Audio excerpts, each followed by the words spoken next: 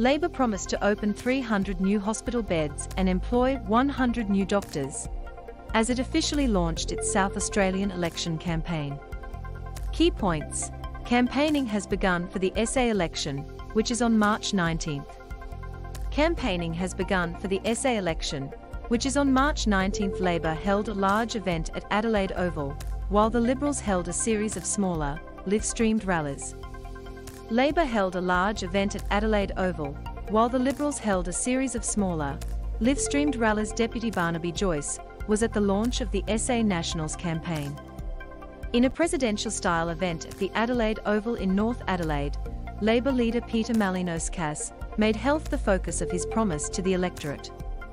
Today, I start announcing new plans for the most urgent need of all, Mr. Malinauskas told the party faithful. Today, I start announcing our plan to fix the ramping crisis. The promise of new beds includes 98 mental health beds divided between the Queen Elizabeth, Modbury and Noarlunga hospitals, and in Mount Gambier. Labor said the mental health beds will cost $182 million, which it will fund with money the Liberal Party is planning to spend on building a new multi-purpose arena on Adelaide's riverbank. Construction on the arena will not begin until 2025, but Labor says it will bring the spending, which will be paid for through debt, forward. This is a serious, costed plan, Something that we can only do because we're not proceeding with Steven Marshall's basketball stadium if we are successful at the next election, Mr. Malinauskas said.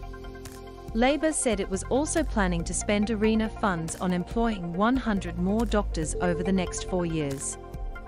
That includes 50 in Adelaide's public hospitals, 10 in country areas and another 40 in other areas across the system.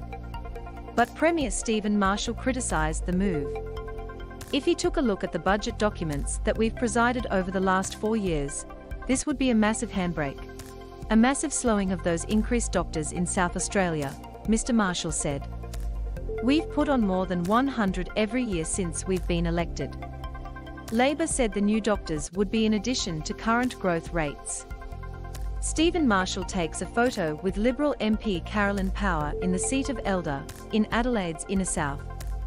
Candice Prosser, on the same day Labour held a large launch event. Mr Marshall held a series of smaller events in marginal electorates across Adelaide, which were streamed live on social media. I don't think there have been too many mass rallies in political parties right around the world for the last couple of years with the coronavirus, Mr Marshall said. So we're having smaller rallies right across the state. While ramping cases have continued through the pandemic, even through periods of low COVID rates, Mr. Marshall criticised Mr. Malinauskas for promising to fix the practice. He started ramping in South Australia. The Labor Party brought ramping to South Australia. We're doing everything we can to unwind it, he said.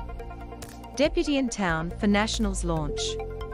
Meanwhile, Deputy Prime Minister Barnaby Joyce was in town to launch the SA Nationals election campaign. The Nationals are attempting a political comeback in South Australia, targeting eight seats including two in the upper house. It has been 12 years since the state's last Nationals MP, Karlene Maywald, lost her Riverland seat.